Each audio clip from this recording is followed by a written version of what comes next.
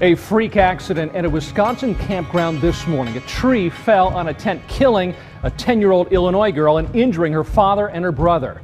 The three were camping at Devil's Lake State Park in Baraboo. That's about 40 miles northwest of Madison.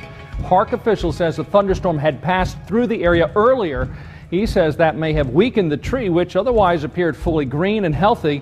Officials say it's a tragic incident, something the park has not seen before. School fight that some say was months in the making. A 13 year old student treated for a concussion and other injuries after several other students attacked him and posted the video online.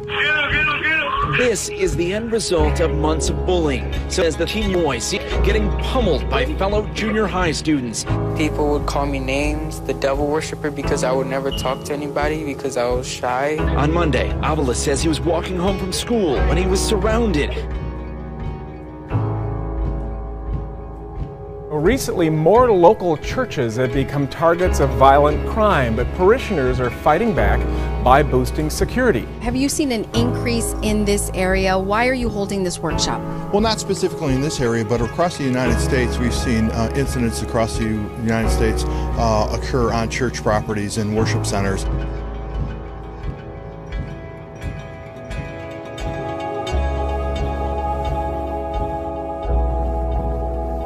Just as PJ Avitto was being laid to rest, the man accused of killing him was back in court. CBS 2's Catherine Brown with that part of the story.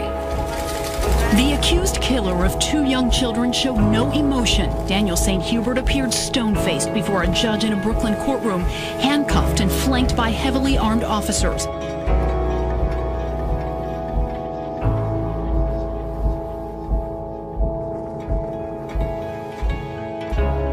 New details are emerging about a gruesome murder we've been covering in Coffee County. Tonight, we know the name of the woman that investigators say was killed and then dismembered. This home just outside of Manchester is where investigators say Lisa Marie Hyder was killed. Scott Hale remains behind bars, and friends say his Satanism may have played a role in the alleged murder. Court documents show he cut off the head, hands, and feet of Lisa Marie Hyder and then ate part of her body. Charles Hyder lives in Dunlap, Tennessee. On Monday, investigators told him she was dead. And when he told me what happened, oh my God, I just, I clapped. I, could, I just couldn't believe it.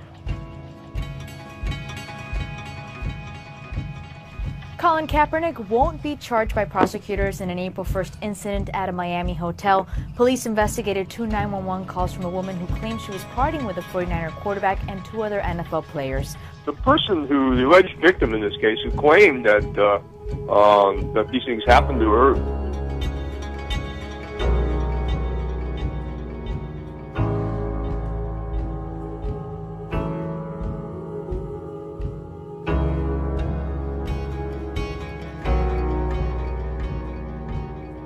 Police releasing new information about how Ronnie Candelaria allegedly committed those murders and what was behind the violent attack. He believed his friend was the devil. His friend, 23 year old Anthony Sakura,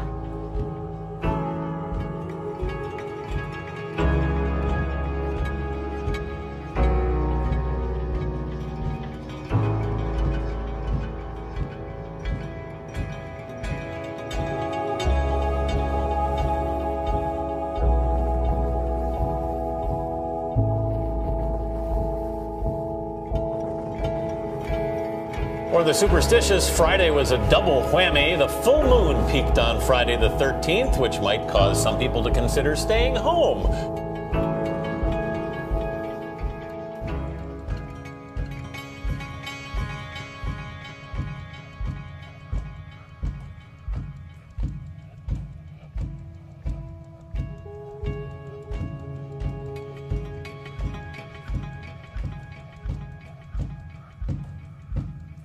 A new asteroid with the nickname the Beast will be flying by Earth this weekend, and it's cutting it pretty close.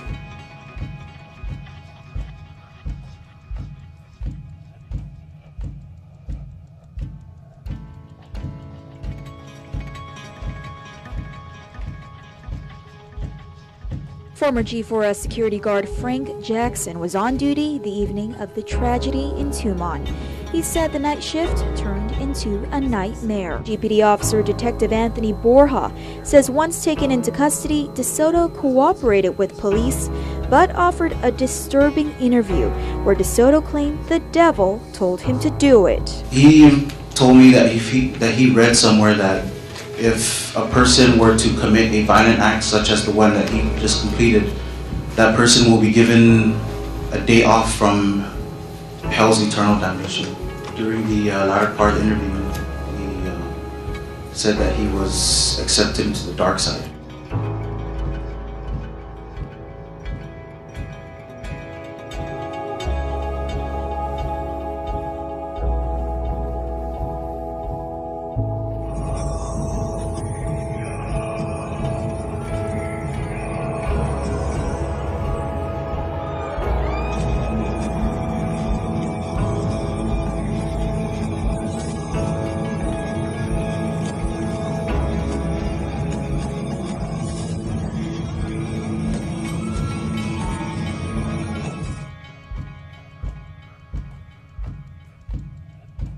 A 22 year old Satanist in Athens has been arrested for, quote, sacrificing a woman to Satan on Easter Sunday. He, quote, sacrificed her to Satan uh, and then wrote 666 on a park bench nearby in her blood.